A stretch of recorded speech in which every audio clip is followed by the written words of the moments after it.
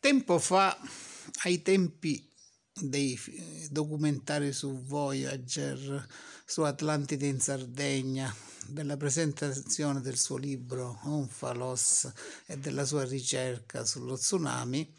Sergio Frau organizzò una riunione di storici all'Accademia dei Lincei a Roma. Trovate tutti i trailer eh, di, quel tempo nella playlist Atlantide nel Sahara e la geologia interglaciale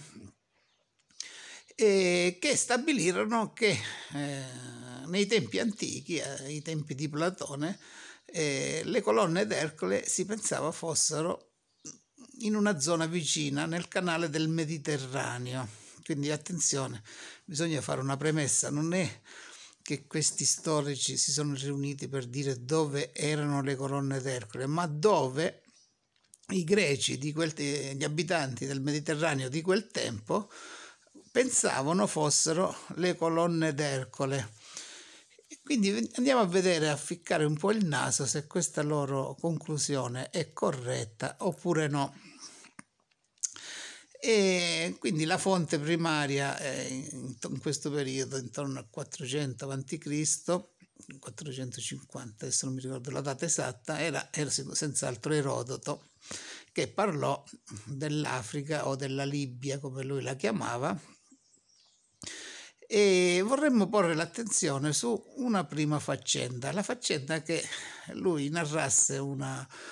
una storia che aveva mm, raccolto per cui gli argonauti Giasone eh, greci volevano fare il periplo mm, del Peloponneso in Grecia, ma furono colti da correnti e si arenarono nel, eh, nelle secche del lago Tritonide. Ora, in questa storia c'è qualcosa che non funziona. Cioè, come fa uno viaggiando per nave, per mare, a finire in un lago? Quindi vediamo cosa ci racconta questa leggenda che questi argonauti eh, volevano fare, erano degli esploratori, volevano fare il giro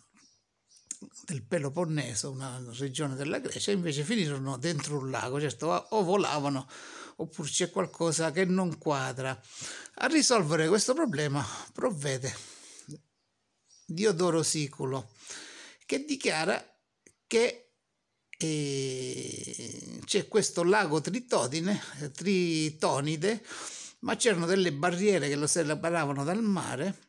e a un certo punto, a causa di terremoti, queste barriere, barriere furono rotte eh, versando le acque nello stretto canale che separa l'Atlantide dal continente africano. E qui cominciano i problemi a voler collocare questo racconto nelle colonne d'Ercole perché se Atlantide era oltre le colonne d'Ercole la situazione che rappresenta che ci fosse un lago Tritonide nelle vicinanze di Gibilterra uno stretto canale, quindi che Atlantide fosse molto vicino all'Africa, quindi ci fosse uno stretto canale e, e che quindi questo lago Tritonide si è uh, riversato eh, in questo stretto canale. A me pare che questa storia collocata qui non abbia alcun senso, mentre invece e anche questo viaggio degli argonauti pare abbastanza improbabile che a causa di un, una folata di vento siano finiti a Gibilterra.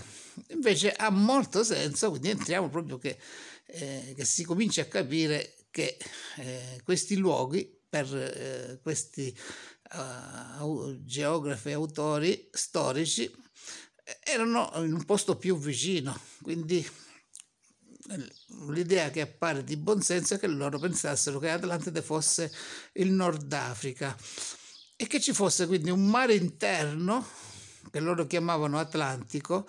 e il, questo lago di Tritone e che quindi abbia riversato le sue acque in questo stretto canale che, che è un canale che esiste ancora che collega mh, mm, dei, delle depressioni che ci sono all'interno della, della Libia che te, tecnicamente possono comunicare col Mediterraneo, solo che a causa della scarsità di acqua eh, sono degli acquitrini pressoché non navigabili, navigabili solo in parte. Quindi ai tempi di Teodoro Siculo probabilmente queste, questi acquitrini erano di dimensioni maggiori e probabilmente lui riteneva che fosse il mare Atlantico e quindi la situazione fosse questa. E, ma a questo punto subentra un'altra stranezza che vediamo che eh, l'autore che, che riporta eh, le storie di Erodoto mette dei grossi punti interrogativi. Cioè Erodoto dice che tra le colonne d'Ercole e Tebe, quindi in Egitto, c'era un ciglione sabbioso. Ora, definire tutto il Nord Africa un ciglione sabbioso, quindi che, puoi pensare che Erodoto avesse una prospettiva così chiara di cosa ci fosse dall'Egitto fino alla, a Gibilterra, appare una cosa poco credibile. Quindi in realtà questo ciglione appare molto più concreto se portato nel, tra, in una zona tra l'Egitto e la Cirenaica. Quindi questo girone di sabbia sarebbe un, questo, questa parte dell'Egitto. E quindi questo lago Tritonide sarebbe all'interno. E quindi le colonne d'Ercole sarebbero questo passaggio che si è aperto il lago Tritonide quando si è sversato nel Mediterraneo, quindi un, una, un panorama, una panoramica un po' diversa, eh, ma appare chiaro che Erodoto chiamava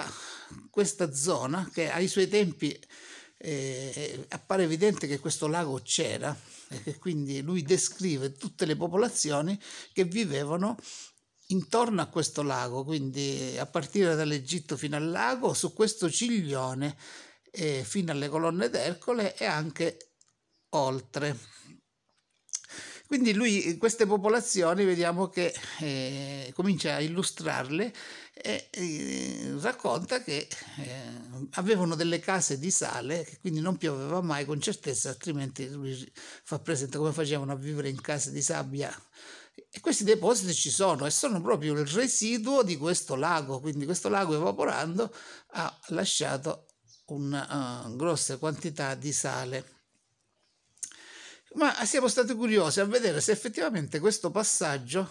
ehm, eh, esiste, cioè se quindi questo ciglione, quindi lui Erodoto dice che il ciglione continua anche dopo le colonne d'Ercole, in effetti è vero, quindi c'è questo buco che eh, separa il ciglione eh, prima di questo varco, e infatti abbiamo questo, questo è il profilo verticale di questa zona si vede che proprio c'è un varco che arriva fino a, a quota sul livello del mare, a differenza delle altre zone della Cirenaica che invece hanno una sorta di barriera, ancora esiste.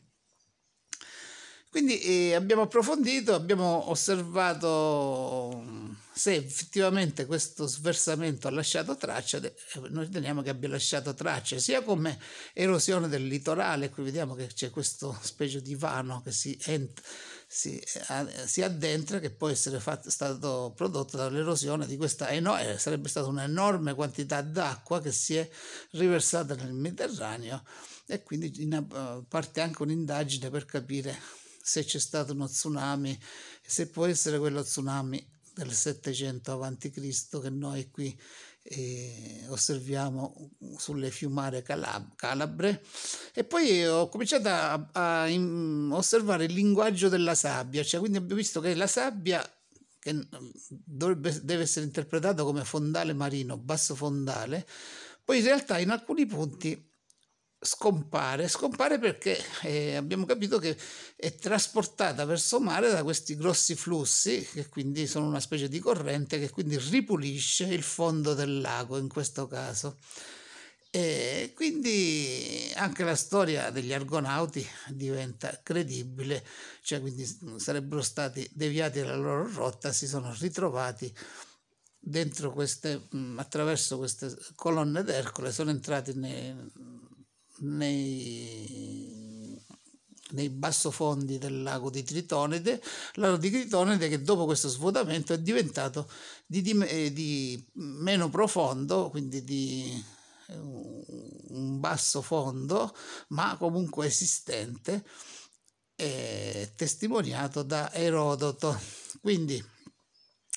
vi consiglio di andare a leggere, a rileggere, perché sicuramente tutti di voi hanno letto questo,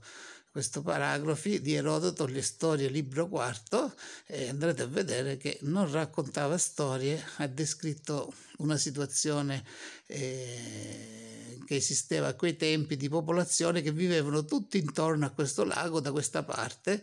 Dal lato opposto pensavano ci fossero gli Atlanti eh, e altre situazioni che poi magari leggeremo in un altro video se eh, avrete voglia. Ciao a tutti al prossimo video.